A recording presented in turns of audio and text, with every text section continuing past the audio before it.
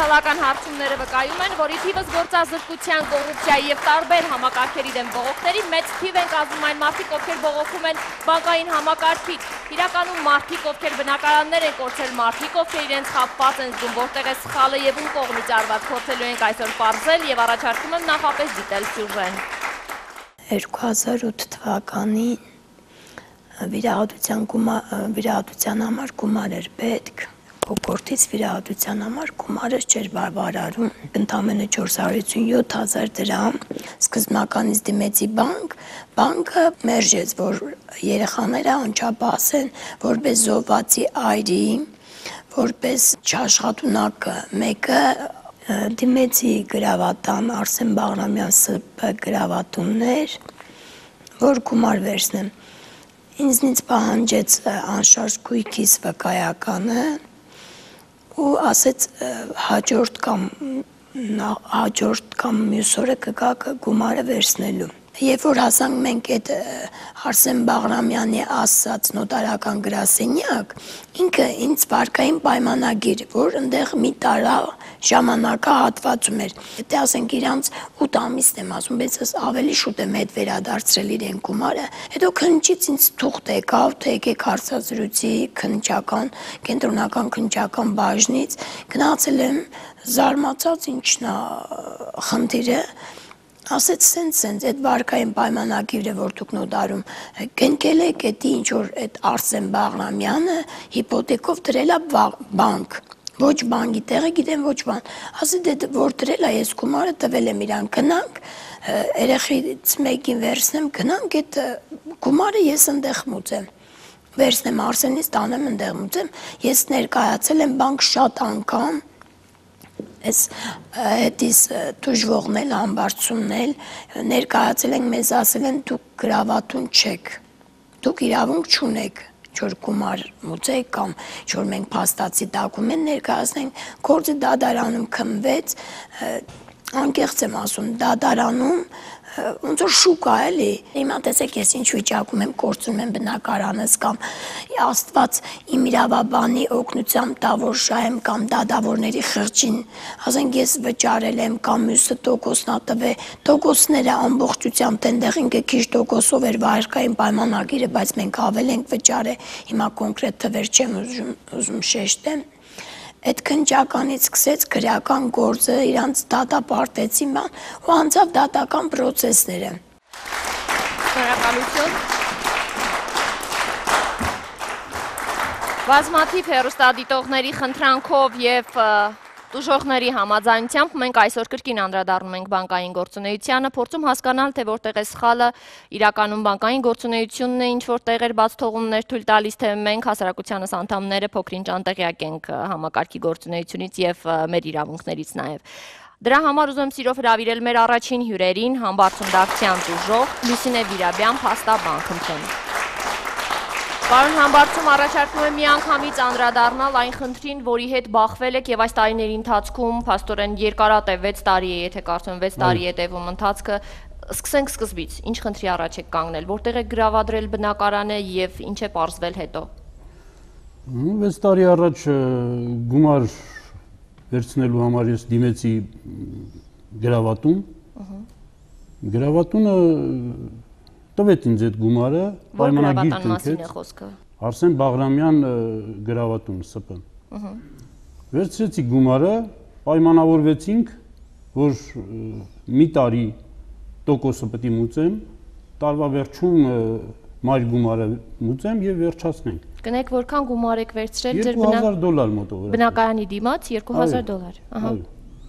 Եվ 7 ամիս տոկոսը մուծելուց հետո Պարզվեց, որ իրան վերցրել են կալանքի։ Բնակարանը։ Բացահայտվել է ինչ որ ուրիշ պահերով բացահայտվել է։ Գրավատան տնորենին։ Այո, այո, գրավատան տնորենին։ Ու դրանից հետո արդեն գործ ընկավ դատարան քննիչների մոտ գնալ, գալ, կանչել, ցուցմունքներ տալ։ Ահա։ Այդ մարդուն դատեցին։ Դատեցին խարդախության համար։ Բայց արդյունքում մեր բնակարանի այդ հարցը մնաց տենց օթից կախված ու մինչև այսօրվա դրությամբ ոչ մի արդյունքի չենք կարողանում հասնել։ Դատեր են եղել ամեն անգամ ոչ մի արդյունք մեծամասամբ նշանակում էր դատի օրը, հետո հետաձգում էին առանց որևէ բանի։ Լուսինե, խնդրում եմ օգնեք հասկանալ։ Պաստորեն խարդախության հոդվածով անձնավորությունն արդեն բանտում է հայտնվել, արդեն པարզ է դարձել, որ նմանատիպ գործունեություն է ծավալել, բայց մարդը իր բնականը չի կարողանում ստանալ։ Այո օգնեք մեզ հասկանալ թե ինչ ընթացք է ապրել այս գործը։ Նախ ի սկզբանե գրավատունը իրավունք չուներ նման գործունեություն ծավալել, այսինքն համապատասխան լիցենզիան չունենալով հանդերձ գործունեություն է ծավալել եւ ի սկզբանե գրավատունը իրավունք չուներ անշարժ գույքի գրավով վարկեր տրամադրել, անկամ եթե օրենքի ուժով իրավունք ունենար գործունեություն ծավալելու Ամբողջ խնդիրը կայանում է նրանում, որ երբ որ քաղաքացիներին գրավատան տնորենը հրավիրում է նոտարական գրասենյակ պայմանագիր կնքելու, պայմանագիրը կնքվում է ոչ թե քաղաքացիների եւ գրավատան տնորենի միջև, այլ պայմանագիրը կնքվում է քաղաքացիների եւ բանկի միջև, որոնք իրենց գույքը գրավ են դնում գրավատան տնորենի պարտավորությունների դիմաց կնքելու ժամանակ։ Ոչ, չեք նկատել։ Ոչ մի բանկ չի եղել, ոչ մի բանկի ներկայացուցիչ չի եղել։ Լավ, դուք իմացել եք, որ կնքում եք գրավատան հետ, այնինչ փաստաթղթերը չեք ընթերցել եւ չեք տեսել, որ բանկի հետ եք կնքում։ Չէ, դրանից հետո մեզի հրավիրեցին իրանք այդ վերցնելուց հետո մեզ հրավիրեցին նոտար, որտեղ մի 4-5 հոգով նոտարի սենյակում ստորագրել տվեցին պայմանագիր, Որից նրանք ես անձամբ ես իմացել եմ, որ ես իրա հետ եմ այդ պայմանագիրը, որովհետև ինքը ինձ ձտես ներկայացրեց։ Լավ, པարզ է, հաստատքները չեն ընթերցել։ Դա հաստատ է։ Անցնենք ընթացքին։ Դրա մասին արդեն տեղեկացրեն, որ իրենց գույքը գրավ է դրված բանկում մի քանի ամիս հետո, երբ որ նախաքննությունը ընթացքի մեջ է եղել։ Այսինքն նախաքննությամբ է ողջվել, որ իրենց գույքը գրավ է դրված ոչ թե գրավատանը, այլ բանկում սակայն դա էլ չարյաց փոքրագույներ։ Դրանից հետո բանկը ստեղծում է մի ՍՊ, որը որ ցեսիայի պայմանագրով, այսինքն իրավունքի զիջման պայմանագրով այդ պարտավորությունները, որոնց համար որ գույքը գրավ է դրված, զիջում է ընկերությանը։ Որ ընկերությանը։ Սար կապիտալ ընկերությանը։ Սար կապիտալ ընկերությունը,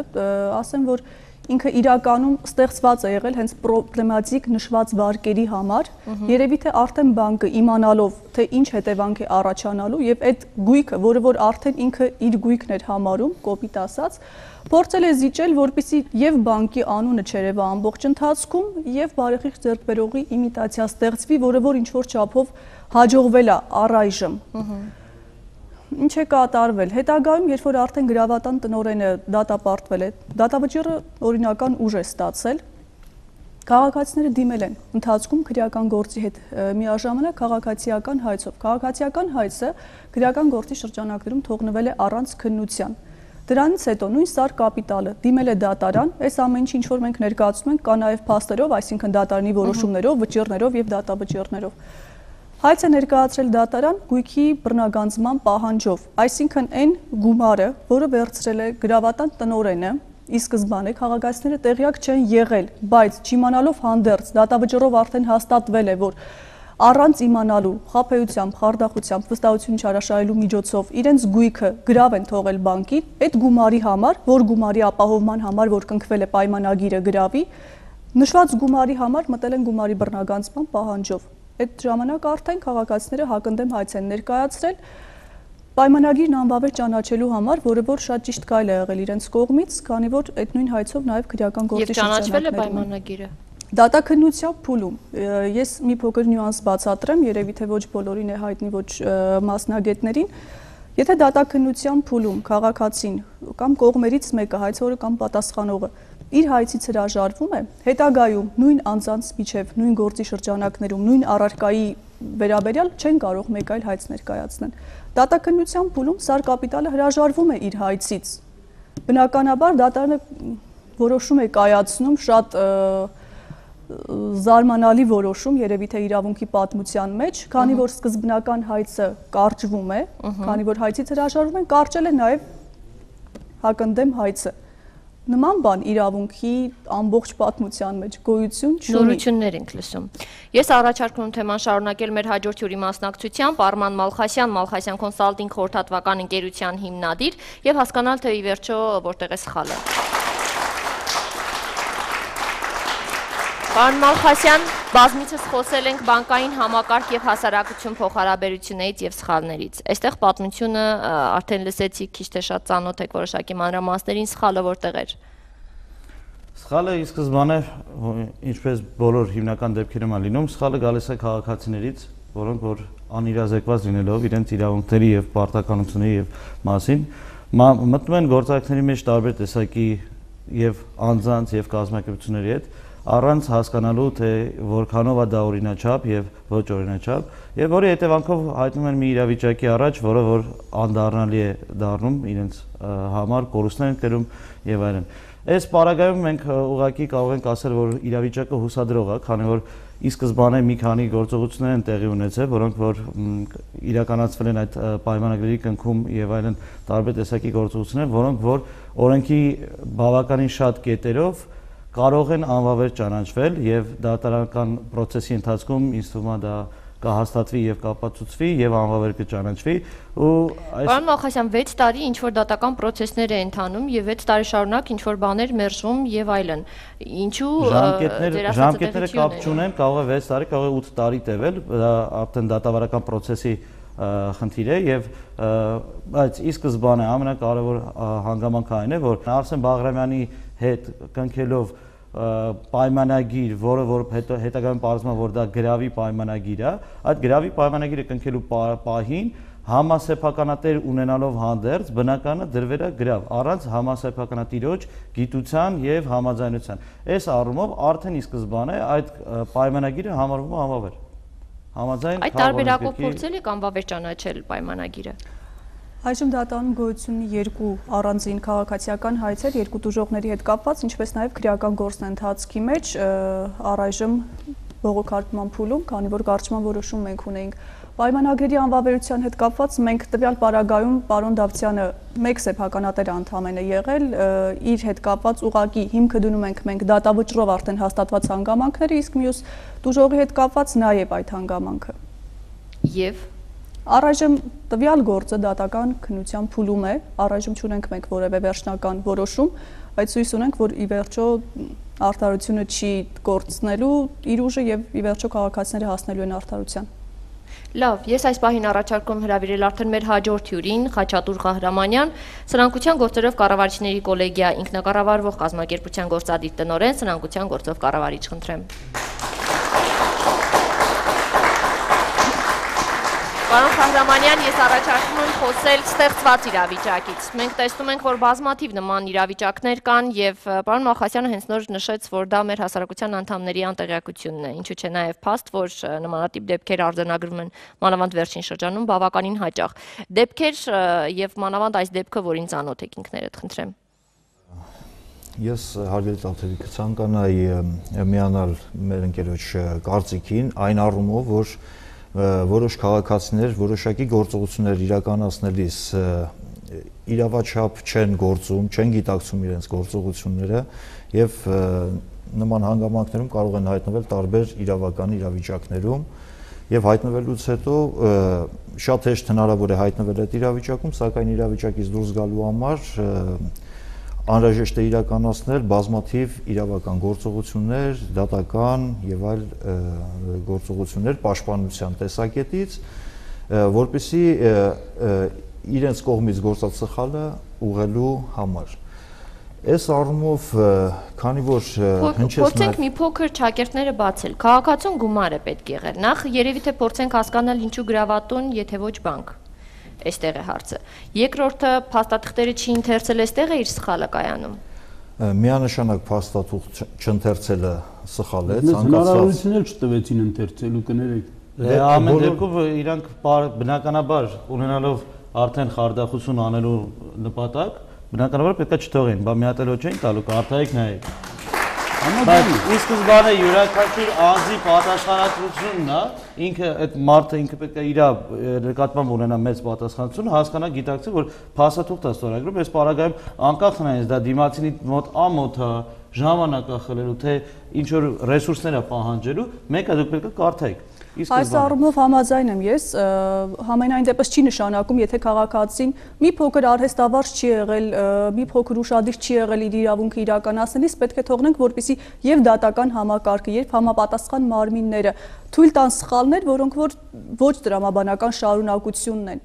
Դրա համար նաև համաձայնվենք, որ ոչ ոք ապահովագրված չէ։ Եվ այս այս առումով դուք այս գործով փաստաբանեք եւ դուք ինքներդ էլ ձեր ֆունկցիան անում, որպեսզի մեր քաղաքացու օրինական շահերը, որոնք որ խախտվել են, դուք որպես իրավունքի մասնագետ ունենալով համապատասխան լիցենզիա եւ հնարավորություններ կարողանաք այս սխալը ուղղել։ Բայց ի սկզբանե մենք ուզում ենք այսօր արձագանքել արձանագրել մեկ փաստ, որ մեր քաղաքացիները դա պատճառաբանություն չի, երբ որ հայտնվում են այս իրավիճակում։ Սա պատճառաբանություն չի։ Մինչ թեման շարունակենք, ես առաջարկում եմ լսել սյուժեն, կապնվել են կենտրոնական բանկի ներկայացուցչի հետ, շատ հաճախ եմ լսում կարծիքներ, որ նմանատիպ դեպքեր, երբ արձանագրվում են, երբ թեման բարձրացվում է, կենտրոնական բանկը ջայլամի քաղաքականություն է դրսևորում եւ ասում է, որ մենք վերահսկող ենք եւ մենք նման գործելավոճի եւ նման գործարքների հետ ընդհանրապես կապ չունենք։ Մենք փորձում ենք այս ամենը ճշտել նաեւ կենտրոնական բանկից, հասկանալ թե մանավանդ գրավատների հետ կապված նմանատիպ խնդիրներ ինչու են այսքան շատացել, որովհետեւ մենք մեր հաջորդ հաղորդումների ընթացքում կրկին անդրադառնալ տալու ենք մեր հերոստատիտողների բողոքներին, մարդիկ ովքեր կրկին գրավատնից բողոքում են եւ կրկին անշարժ գույքի կորուստ ունեն, ոսկեղեն, չգիտեմ։ Եվ բնականաբար այս խնդիրները բարձելու համար դիմել ենք նաեւ կենտրոնական բանկ, խնդրեմ։ Կենտրոնական բանկը բնականաբար իրականացնում է բավական խիստ վերահսկողություն բոլոր վերահսկողության ենթակա սուբյեկտների նկատմամբ։ Ըստ էության չի կարելի գրեթե գտնել դեպք, որտեղ կենտրոնական բանկի ջայլամի քաղաքականություն իրականացնի։ Այլ հարցը, երբ հնարավոր է լինեն դեպքեր, երբ լինեն խարդախություններ, ինչ որ պայմանավորվածություններ, որտեղ բնականաբար դատախազությունն է զբաղվում նման հարցերով։ Այսինքն կենտրոնական բանկը ունի սահմանափակումներ նաև իր իրավասությունների, այնտեղ որտեղ խնդիրը վերաբերում է զուտ կենտրոնական բանկի գործառույթներին, ապա դրանք ես կարող եմ ձեզ վստահեցնել, իրականացում են ամբողջապես եւ լիարժեք կերպով։ Դուք կարող եք հետևել կենտրոնական բանկի կողմից իրականացված վերահսկողական գործառույթներին, անգամ կենտրոնական բանկի կայքում փորձեք տեսնել ովքեր են պատժվել, ինչքան են պատժվել, ինչ տիպի պատժամիջոցներ է կիրառվել կենտրոնական բանկի կողմից ֆինանսական կազմակերպությունների նկատմամբ, դուք ամեն ինչ կարող եք տեսնել այնտեղ, սկսած բանկերից վերջացրած գրավատներով։ Այսինքն կենտրոնական բանկը բավական խիստ վերահսկողություն է իրականացնում։ Հնարավոր է լինեն դեպքեր, երբ ուղակի սպառողը տեղյակ չլինելով կենտրոնական բանկի գործառույթներին, օրինակ, խնդրի կենտրոնական բանկի նամակով կամ զանգով, տարբեր տիպի կապի միջոցներով նվազեցնել իր վարկի տոկոսադրույքը։ Ինչը կենտրոնական բանկը բնականաբար չի կարող իրականացնել։ Կենտրոնական բանկը չի կարող միջամտել տնտեսվարող սուբյեկտների գործունեությանը։ Իսկ գրավատները, բանկերը, ֆինանսական կազմակերպությունները սովորական տնտեսվարող սուբյեկտներ են։ Կամ օրինակ կարող է լինել, երբ որ քաղաքացին խնդրի կենտրոնական բանկից կամ պահանջի կենտրոնական բանկից, որ เป զի միջամտի կենտրոնական բանկը իր գրավի իրացման գործընթացին, ինչը բնականաբար կենտրոնական բանկը չի կարող իրականացնել։ Եթե ամեն ինչ իրականացվում է օրենքի համապատասխան, պահանջներին համապատասխան, ապա կենտրոնական բանկն այստեղ ոչինչ չի կարող անել։ Դա քաղաքացու եւ ֆինանսական կառույցի հարաբերություններն են։ Ընդհանրապես աշխարհում սովորաբար ընդունված ֆինանսական համակարգում իրականացնել իրազեկվածության ուղղված աշխատանքներ։ Ինչը մենք ներկայումս իրականացնում ենք տարբեր սոցիալական գովազդների, տարբեր տիպի միջոցառումների միջոցով փորձում ենք հասարակությանը իրազեկել ֆինանսական ծառայություններին, գործիքներին, վերջիններիս աշխատանքի սկզբունքին, որ เป զի ցանկացած որոշում կայացնելիս շատ ավելի իրազեկված որոշում կայացնեն քաղաքացիները եւ պարզապես չստորագրեն ցանկացած փաստաթղթի տակ։ Նախկին ԽՍՀՄ երկրներից երևի թե առաջինն ենք Հայաստանը, որտեղ գործում է ֆինանսական համակարգի հաշտարարի ինստիտուտը, որոնք բոլորն ուղղված են սպառողների շահերի պաշտպանությանը։ Կենտրոնական բանկում ստեղծվել է առանձին ստորաբաժանում սպառողների շահերի պաշտպանության եւ ֆինանսական իրազեկվածության բարձրացման ուղղված, որպեսզի հաճախորդները ցանկացած որոշում կայացնելիս տեղեկացված որոշում կայացնեն։ Այսինքն կենտրոնական բանկը փորձում է ցանկացած ճանապարհներով իրազեկել հասարակությանը ֆինանսական գործիքների մասին, ինչը բնականաբար հեշտ չէ, սակայն ամենաարդյունավետ միջոցն է ամբողջ աշխարհում։ Շնորհակալություն։ Լուսինե, ես առաջարկում եմ խոսել ընթացիկ խախտումների մասին։ Դուք նշեցիք, որ բազմաթիվ խախտումներ են կրկին տեղի ունեցել, որ կցանկանայիք բարձրաձայնել։ Ես պարզապես ուզում եմ հասկանալ, գուցե այդ խախտումների արդյունքն է, որ նմանատիպ երկար ժամանակահատվածում վերջի վերջո որևէ ելք չեք կարողանում գտնել։ Գիտեք, մենք մեր խնդիրը այս պայն ոչ թե գրավատան տնորենի հետ է, որովհետև իր հետ կապած մենք ոչ մի խնդիր չենք տեսնում։ Եղել է, խնդիր տեսնում ենք այն մասով, որ առաջացել է իրավախախտումը ամբողջ իրենից քաղաքացիների իրավունքը ոտնահարվել է առաջի հերթին իր կողմից, բայց ինչ է եղել շարունակությունը։ Բանկը իմանալով հանդերձ թե ինչ գույք է գրավադրված, իսկ բանկը չէր կարող չիմանալ, որովհետև ամբողջ 2 տարի process-ը ընթացել։ թե դատական, թե միջդատական process, որին ներկա է եղել բանկը իր ներկայացուցիչներով։ Իմանալով հանդերձ թե ինչ գույք է գրավադրված բանկում, այնուամենայնիվ ստեղծում է ընկերությունը, որը որ ես քիչ առաջ նշեցի, Սար կապիտալ ընկերությունը, եւ նշված պրոբլեմատիկ վարկային փաթեթը զիջում ցեսիայի պայմանագրով զիջում նշված ընկերությանը։ Այսինքն ոչ բարեխիղճ աշխատանքի արդյունքում կրկին անգամ դա նույնպես խարդախություն է։ Դա նույնպես խարդախություն է։ Այս անգամ արդեն բանկի կողմից։ Այս անգամ նաև բանկի կողմից, որը նաև փոխկապակցված սնանկության գործով կառավարչի հետ։ Այսինքն ինչ ունենք մենք։ Ակնհայտ հանցավոր ճանապարհով ձեռք բերված գույք։ Դա գոնե նրանք տեղյակ էին։ Սնանկության փուլում, երբ որ արդեն սնանկության կառավարիչը նշանակվում է գրավատան տնորենի սնանկության գործով, սնանկության փուլում վերցնում են քաղաքացիների գույքը եւ նրա պարտավորությունների դիմաց բարես բունի մաստով նվիրում բանկի ստեղծած ընկերությանը որը որ ես չեմ ուզում տարբերակել, տարանջատել, դա նույն բանկի ընկերությունն է, հանդես է գալիս բանկի տեսքով։ Ինչ իրավունք ուներ սնանկության գործով կառավարիչը օրենքի ուժով իրեն տրված իրավունքի ուժով։ Քաղաքացիների գույքը ուղակի պարտքի դիմաց զիջեր մեկ այլ ընկերության։ Ինչ կապ ուներ քաղաքացին այդ պարտքի հետ։ Ու ի վերջո դատական ատյանները, որոնք քննում էին նշված գույքը, որոնք որ ստորագրում էին ու Հայաստանի Հանրապետության անունից հանուն Հայաստանի Հանրապետության որոշում էին կայացնում քաղաքացու գույքը առանց քաղաքացուն տեղյակ պահելու, առանց ցանուցելու, որ իր գույքի ճակատագիրն է որոշվում, դատավորի հոգեբանությունն եմ այդ բային փորձում հասկանամ, նման նաև նպաստելուն իրավախախտմանը։ Պետք է լսենք ձեզ, պարոն Խարամանյան, ասելիք ունեք վստահ եմ։ Ես այս իրավիճակում կցանկանայի մեկ հանգամանքի վրա ուշադրությունը սևեռել զուտ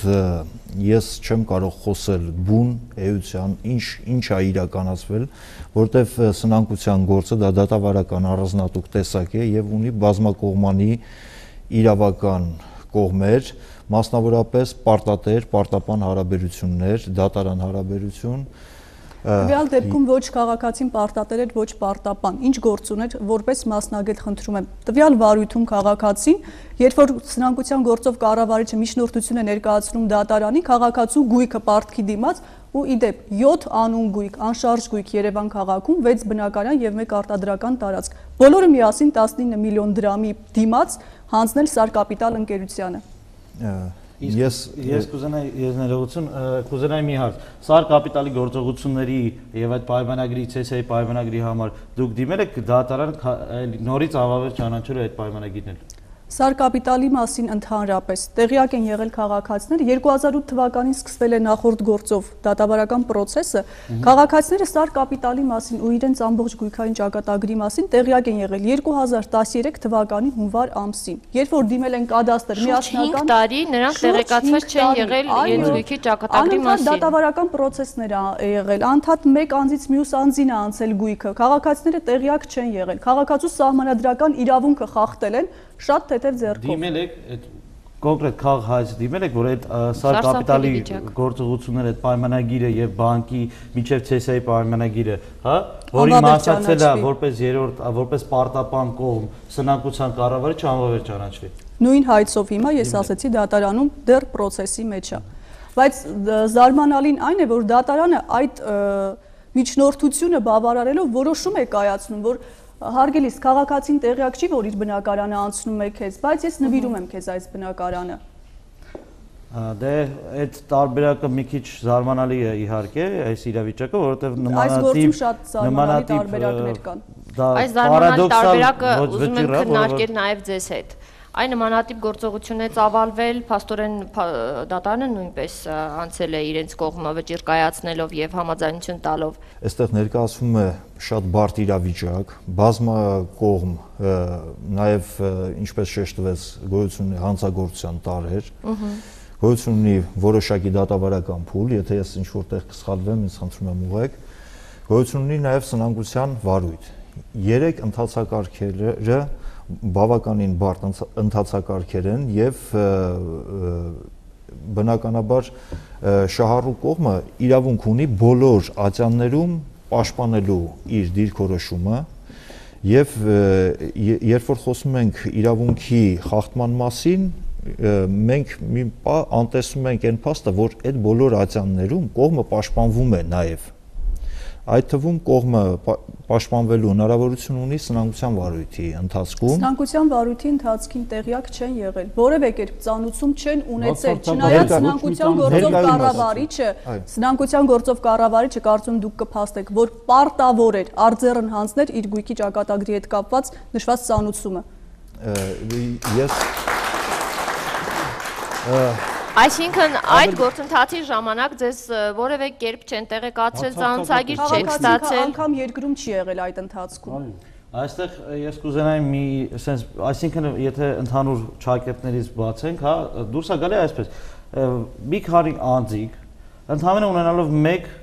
գրավի պայմանագրի տակ ստորագրություն կարող են Հայաստանի Հանրապետությունում քաղաքացու ունեցվածքը նվիրել կամ վաճառել կամ սնանկության վարույթով հանձնել մեկ այլ անձի եւ այդ քաղաքացին ոչ մի բան չունենա։ Այսինքն դուրս է գալիս ձեր ասած մի մեկ դեպքով Հայաստանի Հանրապետությունում չի գործում որևիցե համակարգ, որևիցե Տվյալ գործի շրջանակներում դուրս է գալի որ մենք մենք երկիր չունենք, մենք չունենք ոչ մի բան։ Չէ, տվյալ գործի շրջանակներում թերի է գործել ամբողջ ոստիկանություն, թերի է գործել դատախազություն, թերի է գործել դատական համակարգը, անգամ շատ հետաքրքիր մի փաստ ասեմ։ Սրանկության գործով կառավարչի Դիմել մարդու իրավունքների պաշտպանի գրասենյակին։ Իսկ ինչ էր դատարան։ Մենք դիմել ենք դատարան, մեր երկրում արդարադատությունը իրականացնում են դատական համակարգերը։ Կա մարդու իրավունքների պաշտպանի գրասենյակ, որը որ յուրաքանչյուր քաղաքացու կողքին կանգնած է պետական ապարատի, կազմակերպությունների, սխալների բողոքարկման հնարավորություն տալով։ Հիմա հարց, դուք ասում եք, հիմա այստեղ կանգնած հայտարարություն եք անում, ասում եք, գիտեք ինչ կա, դատական համակարգը չի գործը, թերիա գործը,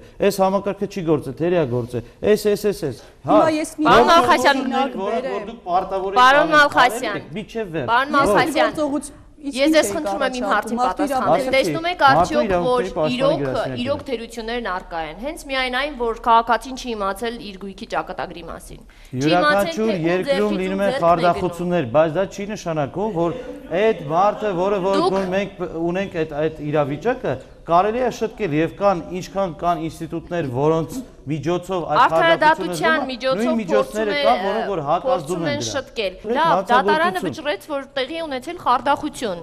Վճռից հետո բնակարանները ինչու չեն վերադարձնում մարդկանց։ Կարելի է ես այ օրինակ ներկայացրեցիք, որ արկա էր հանցագործություն, խարդախության փաստ, դա հիմնավորվել է դատավճռով, ճիշտ է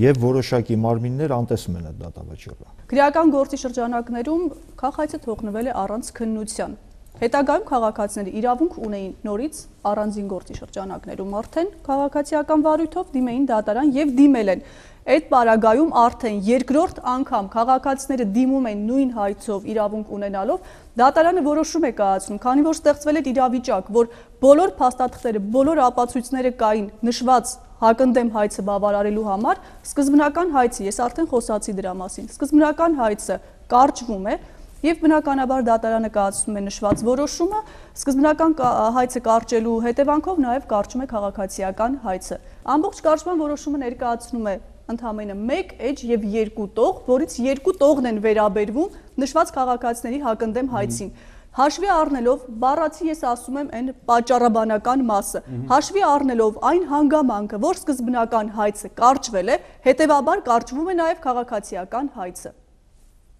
Սկզբնական հայցի կարճվելու հիմքը։ Նման հիմք քաղաքացիական դատավարությունում կարճման նման հիմք գոյություն չունի։ Համաձայն եմ։ Համաձայն եմ, իսկ այդ այդ այդ վճռի դեմ նորից բողոք գնացել է։ Վճիռը եղել է 2000 կա, որ իրանք եթե մի մի Տեսնում եք, մենք անընդհատ պետք է փաստորեն քաղաքացիները փորձեն մեկ վճռից մյուս վճիռը բողոքարկել, ես համաձայն եմ ձեզ։ Բայց այս այս դեպքում դուք ունեք ձեր աշխատանքը կատարելու։ Յուրաքանչյուր միտեղ որտեղ կա, ասենք, թերություն, այդ թերության դեմ կա հաջորդ ացիանը, որտեղ պետքա պայքարել։ Իմ ասածս նա է, որ պետքա հիմա դուք տեսեք, ասում եք, մի հատ անտրամաբանականը երկու տողով բանը կարճել են դատական Քաղաքացիները մեր գրասենյակ Հիմա անցնում ենք հաջորդ փուլի։ Ես նախ փորձում եմ հասկանալ, թե դատարանները նման վճիռներ են կայացնում, որպեսզի փաստաբաններին լավ աշխատացնեն։ Երբ որ մենք հարցում ենք անում կադաստր, անշարժ գույքի կադաստր, որպեսզի տեղեկանանք, թե նշված հասցեի բնակարանը ում է պատկանում եւ ինչ իրավունքով ինչ է եղել դրա հիմքը, բնականաբար այդտեղ գալու, այդտեղից գալու թե քաղաքացիների բնակարանը ինչ եղավ, որ Միջև 13 թվականի ես ասեմ, որ տեղյակ չենք եղել ոչ մի process-ից սնանկության հետ կապված։ Անշարժ գույքի կադաստրը տալիս է շատ հետաքրքիր տեղեկանք մեզ այն մասին, որ նշված բնակարանը պատկանում է Սար կապիտալ ՍՊ-ին, որի հիմքը գույքի հանձնման պայմանագիրն է։ Այն դեպքում, երբ որ դատարանը ուներ միջնորդության վերաբերյալ, միջնորդությունը բավարարելու վերաբերյալ որոշում, որ գույքը կարող եք հանձնել պարտքի դիմաց, ոչ թե կադաստր են տանում, այնքան անհիմն, այնքան անօրինական որոշում է այդ որոշումը, որ այդ կադաստրը չի ընդունում դա եւ տանում են ոչ թե նշված պայմանագիրը, նշված որոշումը, այլ պայմանագիր, սար կապիտալի եւ սնանկության գործով կառավարչի միջև կնքված։ Դուք հիմա պատկերացնեք այն քաղաքացիների համար բացատրեմ, որոնք որ իրավաբան չեն եւ ավելի լավ հասկանան, երկու հոգի խնդիր ունեն իրար մեջ եւ երրորդի գույքը հանձնում են իրենց խնդրի համար։ Կադաստրը ինչպես է դա գրանցել, Միջև հիմա ես դա չեմ կարողանում հասկանալ։ Այդ սար կապիտալի անունով է։ Ու այդ սար կապիտալին չեն կարողանում գտնել, որպեսզի նա գա այդ բնակարանի վարձ մուծի։ Ինչպես չեն կարողանում։ Չգիտեմ, հասցե չկա, հասցե չունեն։ Ինչպես են գրանցված։ Եթե չկա սար կապիտալ, ուրեմն ձեր բնակարանը սար կապիտալին չի։ Կա սար կապիտալ։ որպես այդպեսին կա, բայց չեն կարողանում փաստորեն գտնել։ Սար կապիտալ իրավաբանական անձանց պետական ռեգիստրում գրանցված է սար կապիտալ ՍՊ, որը գրանցված է բանկի հետ նույն հասցեով։ Սար կապիտալ ՍՊ-ի տնորենը հանդիսանում է բանկի մասնաճյուղերից որևէ մեկի նախկին տնորենը։ Այդքան զուգադիպություն մեկ տեղում ուղակի հնարավոր չի։ Իսկ երբ մենք ծանուցում ենք նույն հասցեում ուղարկում, իրանք ուղակի չեն ընդունում, այստեղ սար կապիտալ չկա, բայց մենք արդեն ունենք առաջընթաց այն պահով։ Մեր դատական process-ները նաև ձգձգվում էին այդ առումով, մենք ծանուցումը չէինք կարողանում ապահովել, բայց արդեն ունենք համապատասխան գրությունը նրանց կողմից, որ գործը քննեն իրենց բացակայությամբ։ Լավ։ Պարոն Մոխասյան, ես առաջարկում եմ խոսել բանկային համակարգի սխալներից։ Մենք տեսնում ենք, խոսում ենք իհարկե, որ քաղաքացիները սխալ են, բայց եկեք խոսենք նաև այն բացթողումներից, որ արկա է այս դաշտում։ Լավ, խոսում ենք մեկ քաղաքացու սխալից երկու դեպքերը արդեն շատ-շատ են եւ որոշակի նորմեր, խստության պահանջներ եւ այնուամենայնիվ ինչ որ կանոնագիրք, որով բանկային համակարգը պետք է իր գործունեությունը տեղավորի այդ կանոնագրքի մեջ։ Ուրեմն ասեմ մի փաստ, որ բանկային համակարգը ինքը ֆինանսական համակարգի ամենա, այսպես ասած, ամենափողահագեցված համակարգն է եւ որտեղ կան շատ փողեր, այնտեղ կա մեծ գրավչություն այդ փողերին տիրանալու անգամ անօրինական ճանապարհով։ Այսօր մենք կարող ենք ունենալ 10 կանոնակարգ, 10 կանոնագիրք, 67 հատ օրենք, հա, բայց առաջնային պատճառը ինչն է։ Երբ որ մեր քաղաքացիները մենք դա նշում ենք որպես առաջնային պատճառ, որ մեր քաղաքացիները որևիցե գործողություն իրականացնելու կապ չունի, դա կնի վարկային գործունեություն, թե կլինի դա, չգիտեմ, գույքի գրանցում անգամ, եթե իրանք օրինական ճանապարհով ձեռք են բերել գույք, այդ գործընթացները, որոնք որ իրանք զբաղվում են, Պարզապես, պարզապես մի հատ գոնե առնվազն աչքի տակով ընթերցեն այն օրենքները եւ այն փաստաթղթերը, որոնց որոնցով այդ գործողությունը պետք է կատարվի։ Իսկ ինչ վերաբերում է բանկային համակարգին, որևիցե այսպես ասած լավ խոսք կա ժողովրդական, ասում է յուրաքանչյուր գյուղում է շուն կա։ Հենց այս նույն ձևով էլ բանկային համակարգում բոլոր երկրների եւ առավել եւս Հայաստանի Հանրապետությունում կան խարդախներ։ Մենք մենք բազմիցս ենք, մենք մեր գործունեության ընթացքում լինելով բանկային խորհրդատվական կազմակերպություն, մենք բազմիցս ենք հանդիպում նման դեպքերին, նման երևույթներին։ Բայց այստեղ կարող է ինչն է կան միշտ կան խարդախներ, միշտ կան մարդիկ, որոնք ցանկանում են խაფել եւ մեր առաջին իսկ առաջին իսկ մեր պարտքն է մենք մեզի պաշտպանել։ Հիմա տեսեք, ասում ենք, հիմա մենք սրտաճմլիկ ձևով ենք անցալում, որտեղ դա իրոք սրտաճմլիկ պատմություն է, երբ որ մարդը ունենալով վիրահատության խնդիր վերցնում է 457000 դրամ գրավատնից գումար եւ ամբողջ բնակարանը ամբողջը վարկը պարտավորությունը իր մարելուց հետո կորցնում է բնականը։ Հիմա ես ուզում եմ ասեմ, այո, շատ ցավալի է դեպքը, բայց մենք այստեղ կանգնած յուրաքանչյուրս ապավագրված ենք նման խարդախությունի։ Այս ընդհանուր առմամբ այս պատմությունը ի՞նչ է։ Մարդ իր համար նստած տանը, մեկ էլ parzվում է, որ իր բնակարանը Իրանը չի։ Այստեղ մի պա եկեք մոռանանք, որ գոյություն ունի երևույթներ, որոնք որ բան Իմ մենք յուրաքանչյուրը ապահովագրված չենք այդ այդ իրավիճակներին, բայց հաշվի առնենք խապեկանների նման կուտակումները համար գործողություններ եւ պատկան մարմիններ։ Եթե որևէ մեկ պատկան մարմին չի կարողացել ապահովել այս գործի ճիշտ ընթացքը պետք է անցնել առաջ։ Բանկային համակարգը առհասարակ ֆինանսական գործառույթ իրականացնող ընկերությունները այնքան հմուտ են արդեն, որ քաղաքացին չեմ կարծում Հայաստանի Հանրապետությունում այդքան ունի բարձր իրավագիտակցություն եւ այդքան իրազեկված է եւ հասկանում է շատ լավ բոլոր քաղաքացիներին անպայման իրավաբանության դասընթացներ անցնել կամ կրթված լինել։ Այսինքն մենք ինչ անենք, երկու լուծում ենք, կամ բանկերին ինչ անենք, ասենք դուք էլ Եթե արհեստավարժ բանկը կամ մեկ այլ ընկերություն, եթե արհեստավարժ բանկը կամ մեկ այլ ընկերություն փորձեց քաղաքացուն ցանկություն ունեցավ քաղաքացուն մոլորեցնելու, դա շատ հեշտ կլինի։ Ես ձեզ ուրիշ օրինակ բերեմ։ Եվ փոխարենը, եթե կարծում եմ ցանկացավ իրավաբան տրամադրել եւ իրավաբանի հետ նախապես ծանոթանալ պայմանագրին եւ տեղեկանալ, վստահ եմ, որ բանկին նա ոչ չի ասել, որ հիմա ես ձեզ ասեմ, մենք մենք բանկային խորհրդատվություն երբ որ մատուցում ենք մեր քաղաքացիներին, հենց իմաստը ինչու՞մն է կայանում, որ նրանք որևէ ֆինանսական որևէ իրավաբանական գործողություններ անելուց բանկի հետ նրանք մեր հետ խորհրդակցեն։ Դա ընդհանրապես նրանց դա նրան դա շատ լավ հասկացա, այսինքն ինչ կոչեր արվում, դա նույնպես ողջունելի է։ Հարցը չի, եթե գիտեք ինչ կա։ ձգձգում են դատական process-ները, բայց հարգելի քաղաքացիներ, երբ որ ունեք գործարք բանկի հետ, անպայման համապատասխան իրավախորհրդատվությանը, բանկային խորհրդատվությանը։ Դուք գիտեք, դուք հիմա դուք ներկայացնում եք ինչ որ դուք ուզում եք որ հասարակությունը լսի, թե ինչ որ դուք իրոք վերլուծություն արեցիք իմ խոսքերից դուք Դա դուք ներկայացրեցիք ամենայն դեպս։ Դուք սխալ եք, դուք շատ սխալ եք հասկացել իմ խոսքերս։ Իմ խոսքերն է, որ եթե դու պրոֆեսիոնալ չես մի գործում, մի գնա գլուխդ խոթի այդ խնդրի մեջ։ Դիմի պրոֆեսիոնալ քաղաքացին, որտեվ այդ նույն իրավաբանները, այսօր ոչ թե պետք է կանգնեն նույն ձեր ասած փաստաբանները, ոչ թե պետք է կանգնեն այն ժամանակ, երբ որ արդեն մարդը խնդրի մեջ խրված է, այլ պետք է ի սկզբանե դուք փաստաբաններով բոլորդ Բանկերի դիմաց կանգնենք Ասիան։ Բոլորին է կոչարը, որ դուք պետքա բոլորով կարողանաք մարդկանց մեջ բանկի դիմաց կանգնենք կուլտուրան, որ մարդը պետքա Բարոն Ասիան, առաջարկում եմ եզրափակել հաղորդումը եւ հասկանալ թե ինչ միջոցների կարող ենք դիմել այս պարագայում քաղաքացու իրավունքները պաշտպանելու համար, որովհետեւ գրեթե բոլոր նմանատիպ թեմաները պարոն Մախասյանը կարծում ինձ հետ կհամաձայնվի, որ նմանատիպ թեմաներ երբ քննարկում ենք, միշտ տեսնում ենք, որ քաղաքացու իրավունքները պաշտպանված չի եղել, որ քաղաքացին անտեղյակ է եղել։ Բանկը վերջի վերջո հասնում է պարագային, որ ոչ մի կորուս չի ունենում եւ այդպես մաքուր པարս դուրս է գալիս այս ողջ գործընթացից տուժում է քաղաքացին տուժում է թե իր խելքի պատճառով թե չիմացության օրենքների պատճառով թե խարդախության եւ նմանատիպ գործարքների բայց տուժող կողմը վերջ վերջո լինում է քաղաքացին ինչ քայլերի պետք է գնալս ձեզ Ինչ վերաբերում է այն հանգամանքին, որ ցանկացած քաղաքացի չի կարող ունենալ փաստաբան, բայց ցանկացած քաղաքացի ունի հարևան, բարեկամ, մենք ինքներս շատ ժամանակ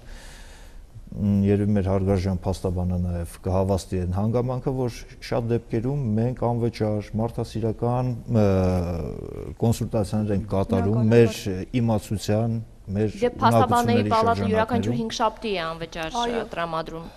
Ես նաև դա էլ եմ մտնում այդ իրավագիտակցության բարձրացման մեջ ցանկացած քաղաքացի կարա գտնի մի որոշ կես ժամ ժամանակ հատկացնի այդ խորհրդատվությանը, քննարկի որոշ ռիսկեր, հետևանքներ, գիտակցի ուրա գնում, ինչա ստորագրում։ Եվ այս ամեն ինչը, նաև այս հաղորդումը կբերի նրան, որ ժողովուրդը կիմանան իրենց իրավունքները եւ ճիշտ կգործեն Ձեզ էլ լսենք, ձեր ակնկալիքը ինչպիսին է այսօր։ Երևի մի փոքր հույս արդեն արտնացավ, հուսով եմ մի բան կստացվի Ես կուզեի մենակ մի բան ասել, որ սկզբում այդքան խորը չէր մեր այդ սխալի հետևանքը։ Ուղղակի խորացրեց դատարանը։ Ես անգամ դատի ժամանակ դատավորին ասեցի, որ հարգելի դատավոր, մեզ ձեռ չի տալի այդ մարդուն դատելը։ Եթե դուք մեր բնակարանի հարցը չեք լուծում, այդ մարդուն ինչի համար եք դատել։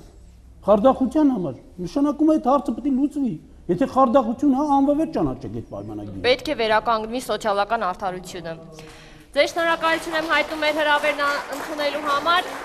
Ուզում եմ տեղեկացնել ձեզ, որ այս խնդրի մասին արդեն մարդու իրավունքների պաշտպանությունը տեղյակ է։ Եվ հաղորդումից հետո մենք միասին մարդու իրավունքների պաշտպանության հետ մեկտեղ փորձելու ենք օգնել ձեզ։ Փորձելու ենք անել հնարավոր ամեն բան, որպեսզի վերականգնվի այն արդարությունը, սոցիալական այն արդարությունը, որի մասին խոսում ենք։ Խոստանում ենք նաև, որ ձեր հաջողությունների եւ ձեռբերումների մասին կրկին խոսելու եւ հրապարակելու ենք։ Ես վստահ եմ, որ ունենալու ենք այդ հաջողությունը միասին։ Եթերում խոս սխալներ մենք այսօր կրկին խոսեցինք շատ կարևոր սխալի մասին, ցտեսություն։